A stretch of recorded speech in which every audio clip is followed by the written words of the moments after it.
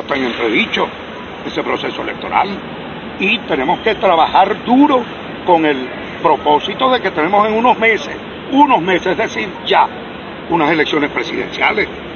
Y la posibilidad de participar en eso tiene que tener las garantías contundentes necesarias para que en este país podamos confiar en el sistema electoral. Ese es el tema.